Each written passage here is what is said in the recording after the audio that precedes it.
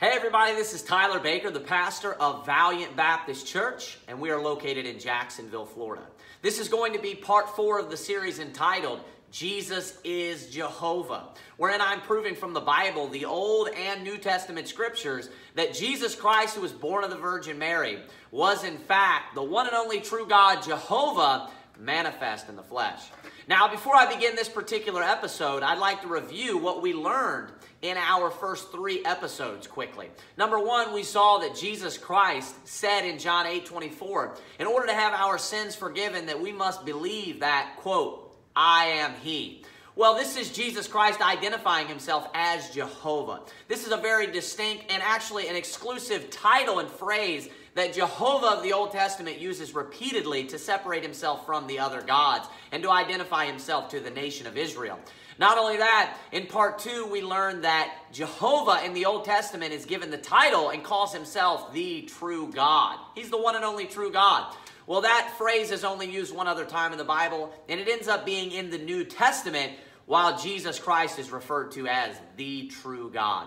In part three, we saw that Jehovah in the Old Testament, he would refer to himself as the I am. He is emphasizing his eternality, that is, he, is eternal. And also, not only that, he's emphasizing that he is self existent. Well, we see Jesus Christ multiple times in the New Testament, and particularly one time in the New Testament, referring to himself as the I am, in so doing expressing that he himself is eternal and saying that he was even before the man Abraham, saying that he, of course, is Jehovah of the Old Testament. Now, now I want to prove that Jesus is Jehovah from a little bit of a different angle in episode number four. And that is, I'm going to be using a prophecy that is predicted to directly or personally be fulfilled on Jehovah. And I'm going to show you that this prophecy is actually fulfilled through Jesus Christ himself. I want you to look with me in Isaiah chapter number 45, and we're going to begin in verse number 21. It reads, Tell ye and bring them near, yea, let them take counsel together. Who hath declared this from ancient time? Who hath told it from that time? Have not I, the Lord? And there is no God else beside me, a just God and a Savior. There is none beside me. Verse 22 Look unto me and be ye saved all the ends of the earth. For I am God and there is none else. Verse 23 I have sworn by myself, the word is gone out of my mouth in righteousness, and shall not return, that unto me every knee shall bow, every tongue shall swear. So, there in verse number 21, we can see that he identifies himself. This is Jehovah speaking. Not only that, he goes on to say that he is the only God, the ju- a, just God and a Savior. Tells Israel in verse 22, Look unto me and be ye saved. But verse number 23 is what I want to focus on. And this is where we find a prophecy found. He begins in verse number 23 by being very emphatic, by being very clear that this is him, himself. He's speaking in singularity. And he says, I have sworn by myself.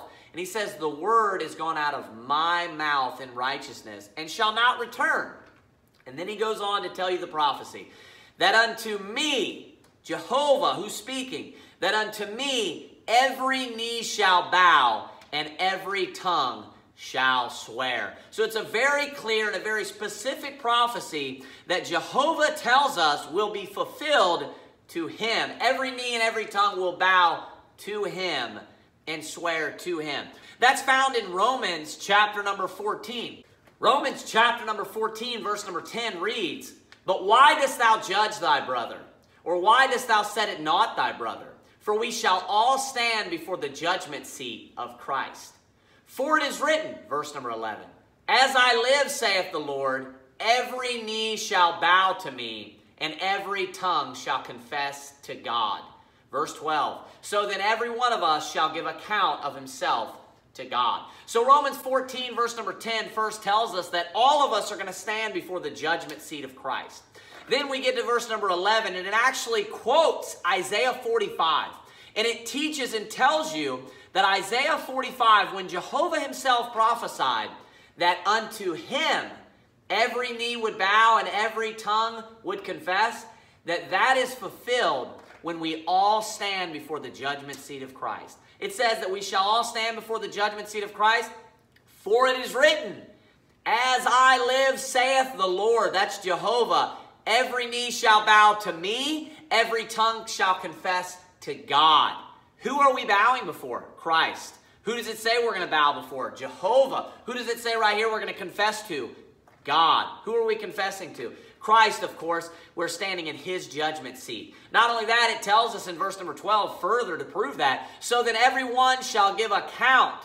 Every one of us shall give account of himself to God. Who is our judge? We're standing before the judgment seat of Christ. There's no wiggle room for this. It is not possible to get out of this. Jehovah himself personally prophesied very clearly and emphatically that every knee would bow to him and every tongue would confess and swear to him. We see this taking place with the man Christ Jesus, who is Jehovah God, who came down and was born on this earth as a man.